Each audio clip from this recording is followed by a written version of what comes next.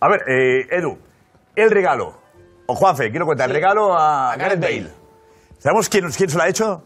Yo estoy investigando. Ah, Estamos ahí. De momento es un amigo invisible. Bueno, le llega el regalo a Bale. Pero el regalo que le han dado a Bale no hace falta conocerle mucho ¿Sí? para saber que seguro le ha gustado.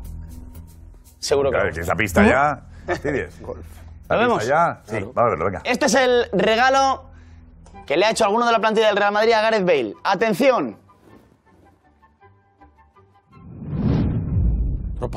ahí está Gareth Bale. Lleva algo entre las manos. En su mano izquierda.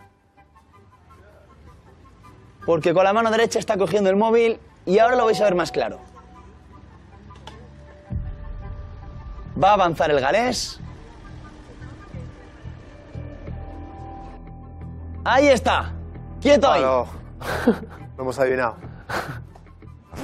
Un poco, qué Palo de original, ¿no? Un palo de golf. O sea, ¿qué uso le va a hacer si debe tener 85 en su casa? Hombre, Bueno, con eso bueno. aciertan seguro.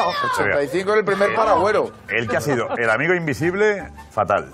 Pero sido, ha sido un amigo previsible. ha sido un amigo previsible, vamos. De verdad. A Bale, bueno, sería una coña. Es de hacer una broma. Una risa también ahí, claro. Imagínate cuando. Cachondeo. Claro, claro. vale, vale. Pero Es eso lo es- bueno. eso Es, Yo- significativo. Te digo, yo diría que es de Sergio Ramos el regalo.